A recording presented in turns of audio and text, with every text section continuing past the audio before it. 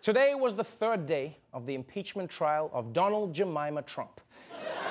and Democrats continue to lay out a meticulous case that Trump abused his power and is now trying to cover it up. They've given floor speeches, they've shown video evidence, they even brought out the Constitution and had to tell everyone where Trump touched it. but no matter how compelling the evidence might be, I have major doubts about whether it's going to change anyone's mind. Because you see, a lot of these senators haven't exactly been glued to their seats. Many of the senators from both parties were MIA at different times, despite rules which require them to stay put. At one point during the evening session, 15 GOP senators' uh, seats were empty and 12 Democratic seats were empty. Cory Booker seen with his iPhone in the cloakroom. Senator Lindsey Graham was gone for, oh, at least an hour or so in the evening. Democratic Senator Dianne Feinstein, uh, she left about an hour and a half early as well. Okay, this is not a good look, people. Senators are just leaving the room and then doing their own thing in the middle of an impeachment trial. You can't just walk away. This isn't a conversation with Ted Cruz.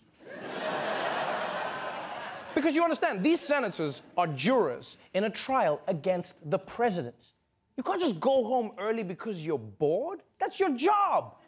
Imagine if normal people tried to pull that shit in the middle of jury duty, huh? If someone's just like, oh, now I gotta hear from the victim's wife. Oh, I'm out of here. Text me if something cool happens.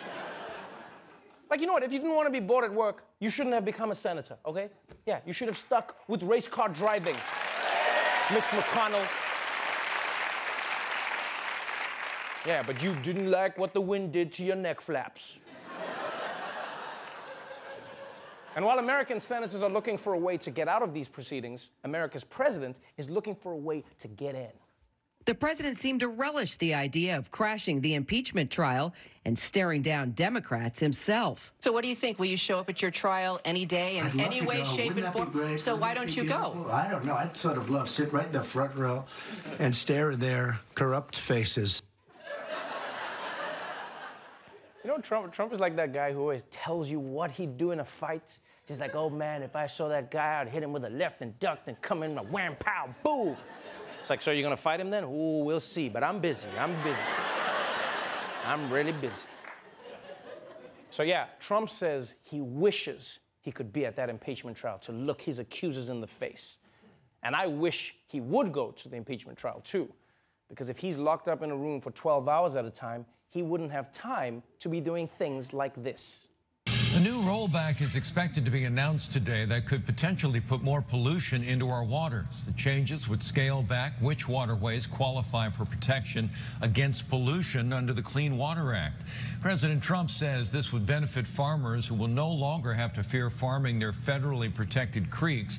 However, government report shows real estate developers would see the most benefit. That's a weird coincidence. A new rollback on water protections will benefit real estate developers. And it was passed by a real estate developer who hasn't drank water since the 70s. What are the odds? why do I feel like why do I feel like all of Trump's policies are just really him trying to help himself? Right? Like I wouldn't be shocked if we find out the real reason Trump killed Soleimani was because he gave Trump's hotel one star on Yelp. Like I wouldn't be shocked. Because this is it's insane. It's an insane policy. The world is going to be flooded, and Trump is like, wait, wait, poison the water first. I want to make this the best apocalypse of all time.